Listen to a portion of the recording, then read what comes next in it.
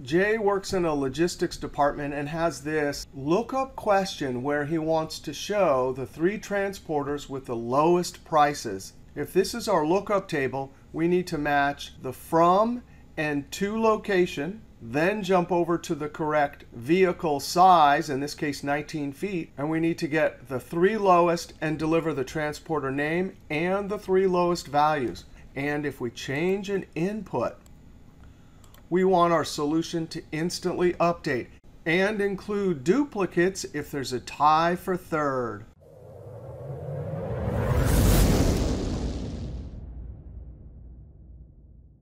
Now I'm going to show you how to create this amazing lookup solution using Microsoft 365. If you don't have Microsoft 365, I already have a video that shows how to extract the top five numbers and names, including ties or duplicates. So you can go check out that video. You can also download the Excel workbook and check out the formulas that we would use in a non-Microsoft 365 version. The first thing we have to do before we even extract the values is find the third smallest value that meets all these conditions. So we're going to look up this column first, equals x lookup.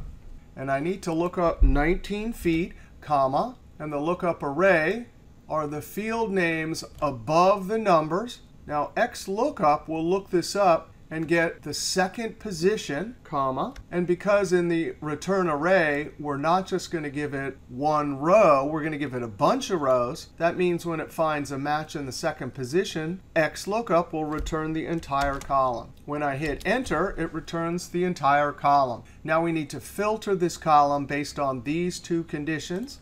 So we'll use the filter function. That's the array to filter, comma. And we have to build a true, false, or 0, 1 logical array to tell filter how to filter. So in parentheses, I'll take from. Are you equal to whatever's in that cell? Close parentheses. That'll deliver trues and falses, and we'll multiply by the 2 column are you equal to whatever's there? Close parentheses.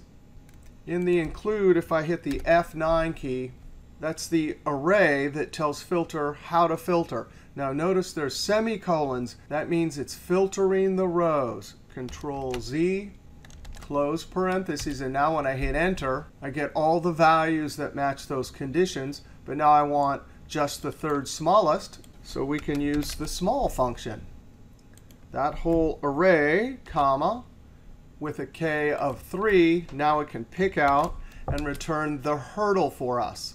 That means in our logical test over here, we could say less than or equal to this hurdle. So if there's duplicates, they'll be included. Now, the cool thing about this formula we're going to create is we'll first filter the rows, and then we'll filter the columns to get just the two columns we want, and then we'll sort ascending. Now, I'm going to use the same formula element here to look up that column. And I'm going to need both of those logical tests. So I'm going to cheat and copy, Control C, equal sign, Control V. Now, from the 19 foot column, I need to ask how many are less than or equal to 140. So in parentheses, I'll add a couple spaces just to visually make it easier to see.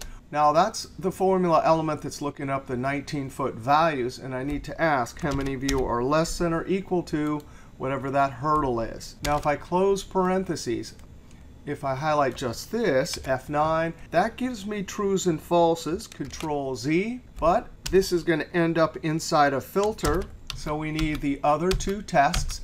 And when you use multiplication, that simulates an AND logical test only when there's a true here and a true here is the result a true.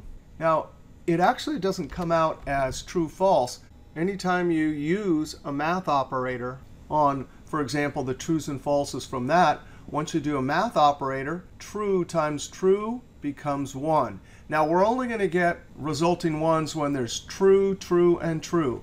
If I hit the F9 key, there's the vertical array, semicolons mean row, of trues and falses. So the ones mean those are the four rows. Control Z, actually, I can hit enter, and you can see that's what's going to tell filter which rows to get. So in the top cell, we'll use filter.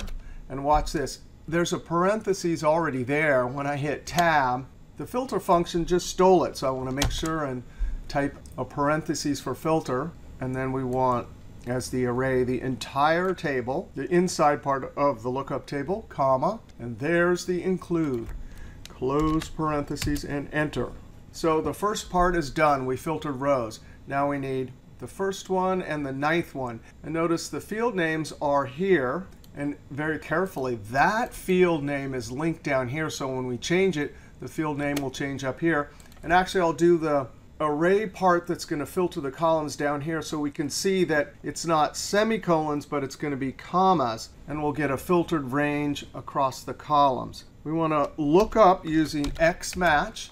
And really, I want to look up these two values and find those. But I need the array to be the same size as these field names. So I'm going to say, hey, look up all of those values, comma, within those two values. Now, the only possibilities are 1 and 2 as positions. So close parentheses. I could hit the F9 key.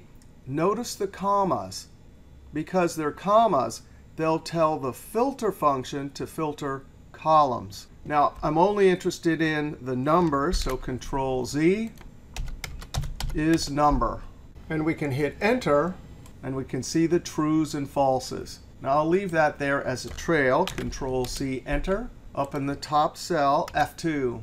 And we're going to do a second filter to filter columns. There's the entire array, comma. And it's this include, Control V, that's going to be given trues and falses separated by commas. And that's what tells filter to return just those two columns. And now if I come over and change this, and we could change to 14 foot, Everything's working.